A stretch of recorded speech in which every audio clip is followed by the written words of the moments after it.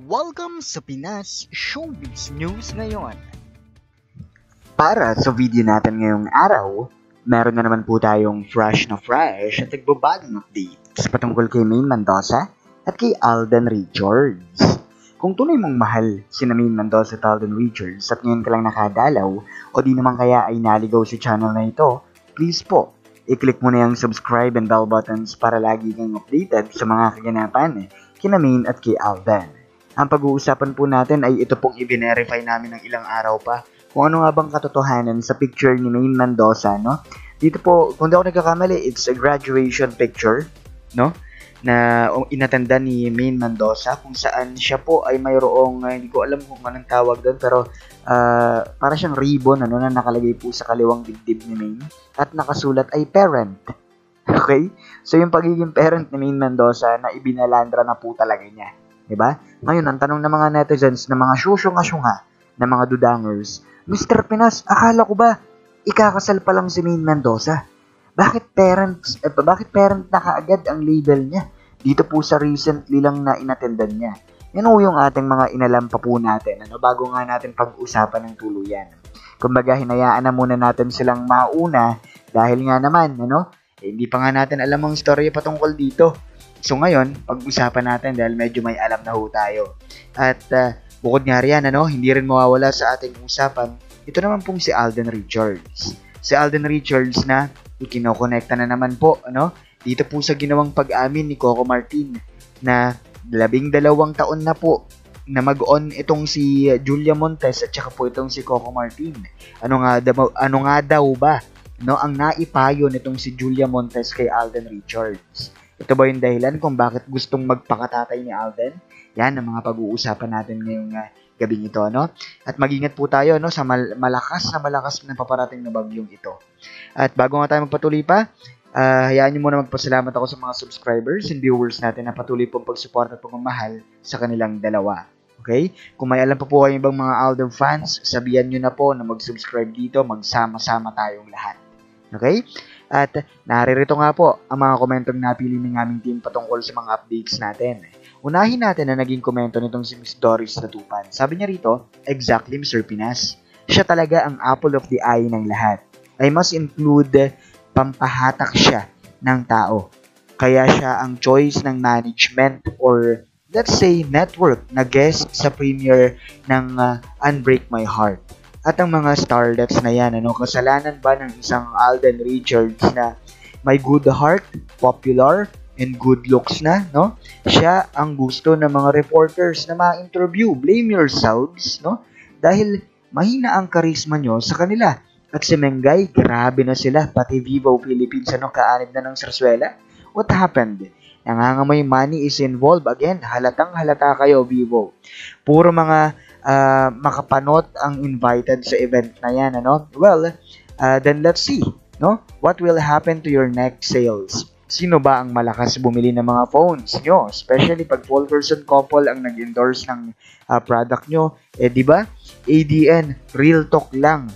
Correct me if I'm wrong, Mr. Pinas. Anyways, uh, di naman sila kawalan sa atin. Baka sila pa ang mawalan. Di ba? And we don't need to worry, baby girl can handle everything. We all know how smart she is. Thanks and God bless you, Mr. Pinas and Aldab. You. Uh, sa totoo lang po, Ms. Doris Latupan, hindi na nga rin kami nangangamba kahit na yung mga reporter doon talagang sanggang bilit na panot ang nandoon. Hindi kami nangangamba dahil matalino si Maine Mendoza. We know for a fact kung ano ang kaya, ang capabilities ni Maine Mendoza to manipulate all of them. 'Di ba? Para i-secure lahat ng dapat i-secure, para itago lahat ng dapat itago. At para naman po sa ikalawa nating komento, ito naman ay mula naman kay Miss Ellen Amurao. Sabi niya rito, Good evening Mr. Pinas. Ask ko lang, sino ba ang organizer ng event ni Meng? Bakit Mainers lang ang invited at mga bayarang reporters na makapanood? Uh, ang sagot ko po dyan ay Vivo Philippines. Ano? Sumali na rin ba sa Sarsuela ang Vivo?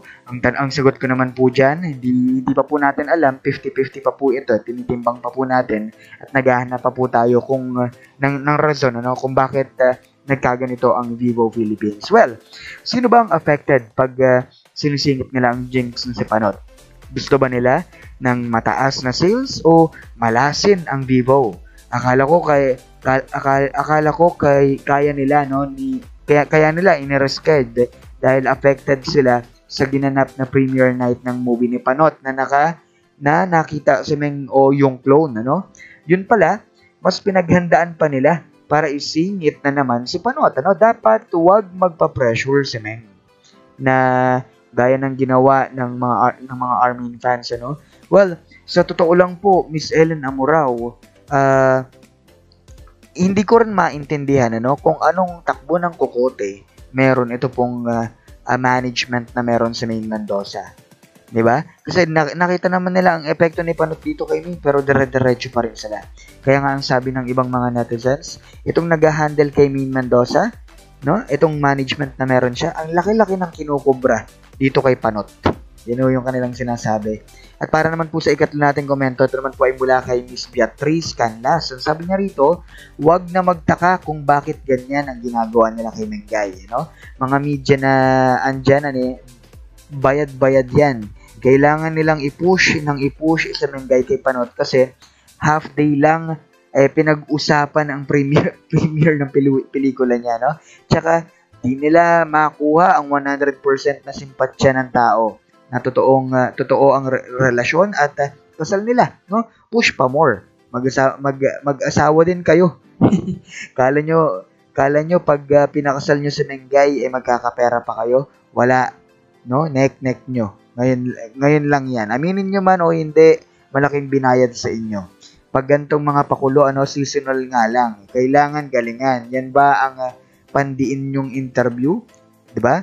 Well, uh, kung ganun po yung sitwasyon ni Maine Mendoza na napapalibutan po siya ng mga reporter na talagang galing po kay Panot, ano, eh, makikita at makikita natin na in, i- ito ah, ah, pagiging practical lang po, ano, wala nang tatakbuhan si Mengay doon dahil wala nga siyang ah, kasangga doon, ano, unless si Alden ay nandun din sa meet and greet na yon. Pero kung wala, ito po yung magiging problema kung paano siya pipilitin ng mga media na magsalita about her and Panot, ano? Pero wag kayong mag-alala. Tulad nga ng sabi ng iba pa natin mga ah, ng iba pang mga kapanalig natin, ano? Eh talaga namang ah, subok na si Main Mendoza pagdating sa mga ganyang bagay. Abangan na lang natin, ano? At yun naman po yung picture. Nakita niyo yung picture, may naka may naka-post pa po ano na parent ano dun sa dibdib ni Main Mendoza. Yan po yung pinagaguluhang picture na- nitong nakaraang araw lang po na hindi po namin kaagad-agad ibinahagi sa inyo dahil hinayaan muna namin ang aming team na makapag-saliksik patungkol sa mga sa bagay na ito. Okay? Pinatingnan din po namin yung picture, baka nga kasi inedit lang ng kahit na sino.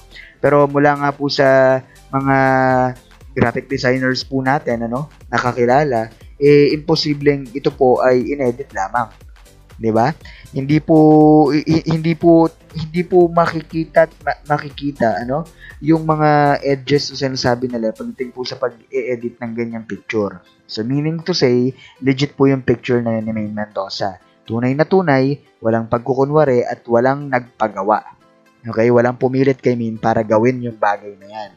Nakita naman natin, 'di ba? Nakakagulat na lang aba sa Mendo 'yun. Siya lang ang naka-face mask doon, 'di ba? Nakita rin natin yung suot-suot niyang ribbon na may, may nakalagay na parent, no? Ngayon, ito po yung bagay na id- idinidikit at dinidikit po ng mga fans ni Mina tsaka ni Alden. Hindi kaya ito na yung dahilan kung bakit nung sa recent interview ni Alden Richards gusto niya maging tatay?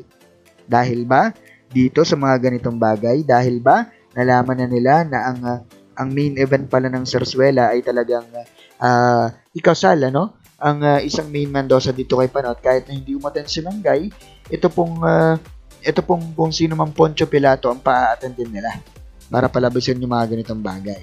Ngayon, tinatanong pa nga ako ng mga syungangers at mga dudangers, Mr. Pinas, akala ko ba ikakasal pa lang po sa Mengay? Bakit po may parent na nakalagay sa dibdib? Yan ho yung sinasabi ko sa inyo. ba? Total, mahilig po kayong maniwala sa mga pinagpapapalabas at mga sinasabi ng mga taga-kabila. Eh mag-convert na lang din po kayo. Mag-Armin fans na lang po kayo. Kayo yung mga walang paninindigan ano, sa pagsuporta kay Mina kay Alden. Hindi po namin kayo kailangan dito. Kahit nga apat na lang kaming matira dito eh. 'Di ba? Kahit na ituloy nyo pa yung Sarsuela na kasal na yan, ano, nandito po kami to support Maine Mendoza and Alden Richards. Wala na pong iba pa because we know the truth. Nakita nyo naman sa picture na yan, di ba? Hindi ko mabasa yung school, ah, malabo po yung nakuha namin picture. Pero, um, ano ba to? Kinder, prep, elementary? Hindi ko alam eh. Pero, congratulations kung sino man ang ah, gumraduate na yan. Ano, Mengay? You are the best.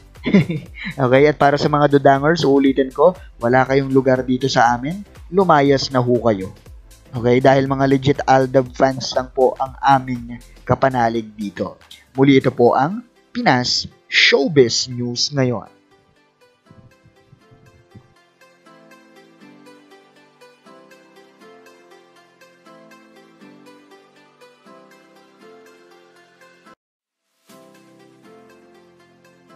you